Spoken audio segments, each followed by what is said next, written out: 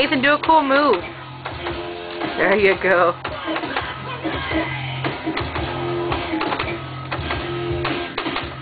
Thank you.